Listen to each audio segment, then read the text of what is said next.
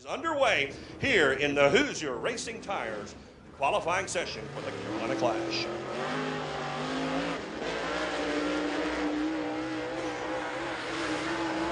Campbellsville, Kentucky driver, car number 16, Justin Ratliff, off and running down to turn number two. Here comes the second driver of Jordan Horton out of New Tazewell, Tennessee, as the first car will take time to go up on the clock right here for Justin Ratliff. 12.389, 12.389. Second car to take time, it'll be the Horton machine. He'll roll off a 12.362, 12.362, two very fast cars on the speedway here early this evening in qualifying. 12.318 for Justin Ratliff, and the checkered flag falls for Jordan Horton with a 12.306. Everybody staying in the 12.3 category. Very close together, so some fast times here for Jordan Horton, car number 56, out of the 12.406. So he has found one tenth of a second faster from his hot lap speeds. Coming up next, Ross White, Knoxville, Tennessee driver. The Clap Professional Car Care, Silla Insurance, Alternative Care, car number zero. That is uh, a Brook built chassis. Here he comes off of turn number four. Ross White, lap one, 12 and a 502. 12 and a 502. Brian Smith, next car up on the speed charts. He comes in. Did not pick up, I don't believe. 12 231. There it is. That's Matt McCarter's car, 51 machine. Matt McCarter with a 12 231. He's up at the top of the speed chart with a 12 and a 136 for the Gatlinburg, Tennessee race team, car number 51, Matt McCarter. With, but right now it's Matt McCarter with a 12 136. Car number 51. He picked up a half a second from hot lap times to qualifying in that 51 ride. Here comes Tommy Bailey, the 11 car. Corbin, Kentucky native. That rocket race car with a Bullock race engine. Been racing for only 20 years in car number 11 of Tommy Bailey. He takes the white flag with a 12, 4, 1, 2, 12 and a 4, 1, 2. Mark Vineyard, car number 4. Regular racer here at the gap. He's going to be scoring with a 395, 12, 395. And 12, 421 for Tommy Bailey. 12 421. Here comes Mark Vineyard, 12 395. He'll pick it up to a 12 376. 12 and a 376. Those number 31, the veteran driver of a Longhorn race chassis with a Vic Hill raced engine for Boone's BP and Estes Brothers Construction. Greg Estes takes the green flag coming off of turn number four. He'll be followed by another fellow Longhorn racer, Donald Bradsher, the Paylord Motorsports car number 93. They call him the Super Duck out of Burlington, North Carolina. Mega Plumbing of the Carolinas car of Donald Bradsher takes the green flag. Greg Estes off the corner. He gets the white flag. 12 and a 767. 12 767 for Greg Estes. Here's Donald Bradsher with the white flag in hand. All the way to the top. 12 and a 108. 12 108 for Super Duck. And he goes to turn three. A little bit of a bobble through turn three. He'll try to crack the 11 second mark coming down the flag front straight away. 12 145. He'll stand on the 108. Donald Bradsher fastest here tonight. Town North Carolina driver, car number 53. He'll be following behind the Chris Barton, car number 144, who has made his way onto the speedway. He'll take the green flag in just a moment.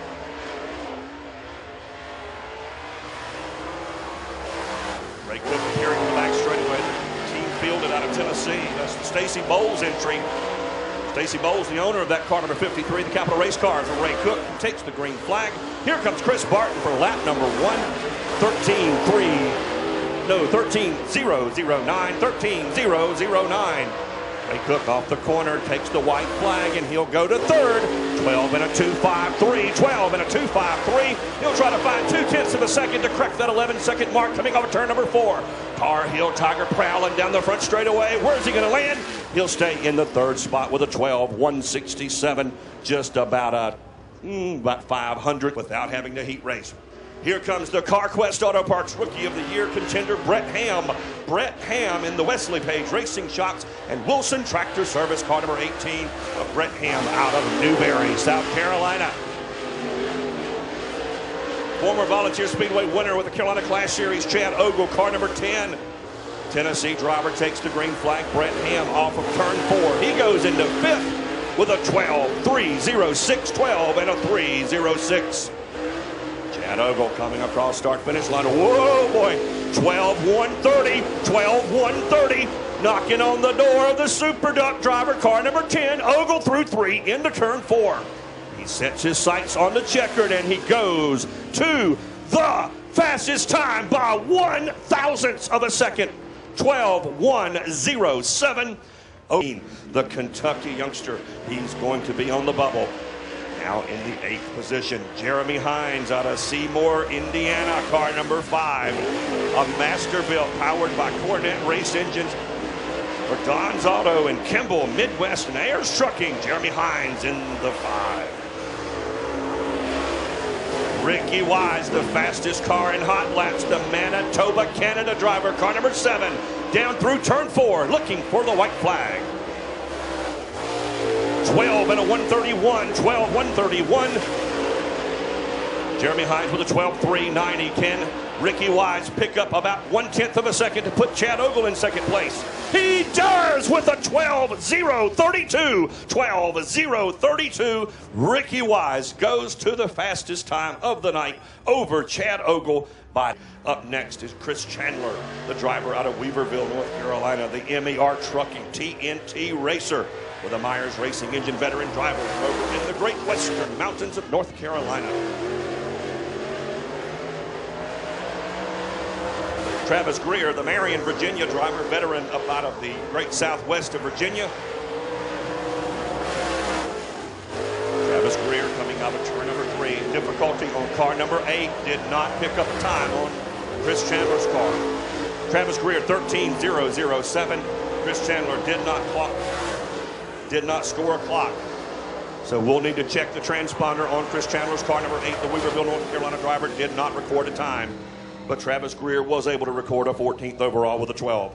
Won the points championship standings out of Clover, South Carolina. Two drivers from down in the Clover area in the western part, western part of York County just to the southwest of Charlotte, North Carolina. It's the Felony Farms Bales Construction, car number 87 of Ross Bales. He is on the speedway. You guys saw him two weeks ago take the Triple Crown here at the Gap in that Billy Hicks number 79. Ross Bales in the 87 car, the family owned team, 12 and a 448, 12 and a 448 for Bales, 13th overall.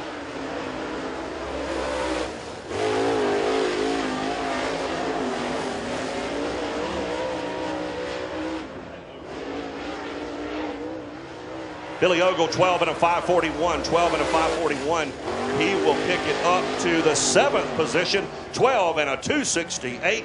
Ross Bale position with a 12.208. Dustin Linville, car number D8 out of Lancaster, Kentucky on the speedway. The Johnny Mako's Electric Camera and Hale Photography. That's the Pierce Racing car number D8. And then behind him, you got car number 89 on the speedway. Johnny Persley, the points leader in car number 09, the Farmer Service Center automobile. Johnny Persley on the speedway with Dustin Linville, car number D8. Persley grading points leader for Johnny Persley. 12th overall, 12 335, 12 and a 335 for Johnny Persley. Dustin Linville with a 12.527. So Johnny Persley was fourth fastest, fifth fastest. And on the bubble is Ross White, car number 0, 12.292. That's the bubble time. Here comes car number 52. Third fastest, Mark Douglas, last year's winner in round three of the Border Wars.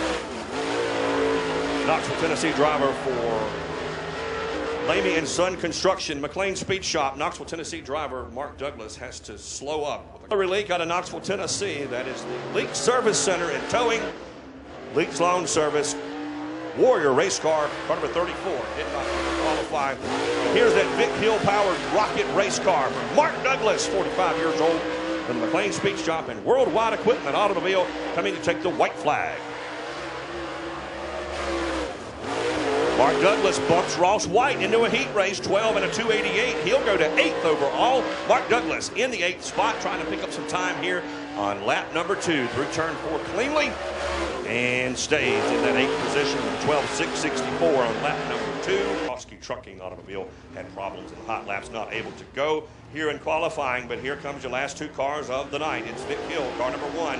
He'll be followed in excuse me, it's Donald McIntosh in car number seven out of Dawsonville, Georgia. The Tennessee RV Blunt Excavating and Massey electric car number seven. He takes the green flag along with Vic Hill in the land air transport. Car number one, green flag is out.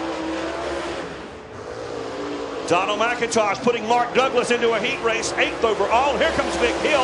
He's going to put Mark Donald McIntosh into a heat race. Billy Ogle now on the bubble. McIntosh going to try to get back in on lap number two. Does safely. He'll qualify sixth. Vic Hill on the bubble trying to get up through the field, and he will move into position number five with a 12 166.